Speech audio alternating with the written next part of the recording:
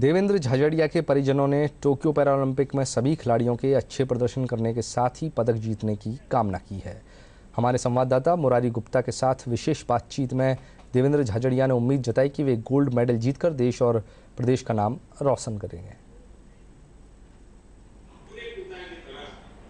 Paralympic Tokyo में भाग लेने जा रहे राजस्थान के देवेंद्र झाझड़िया के, के परिवार हमारे साथ है आज जयपुर में। उनसे बात करेंगे कि किस तरह देवेंद्र झाझड़िया जी इस पैरालंपिक की तैयारी कर रहे हैं। बहुत ही बेहतरीन तैयारी कर रहे हैं।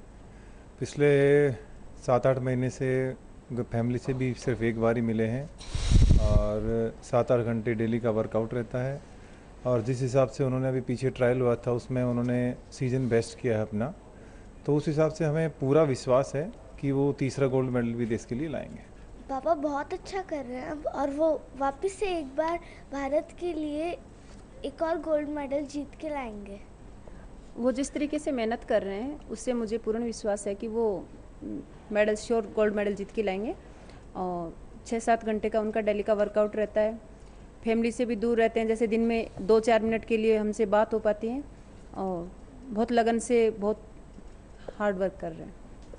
तो ये हैं देवेंद्र झाझड़िया की फैमिली जो, जिनको विश्वास है कि इस बार जो पैरालंपिक टोक्यो में होने वाले हैं, उनमें देवेंद्र निश्चित रूप से गोल्ड मेडल जीतेंगे।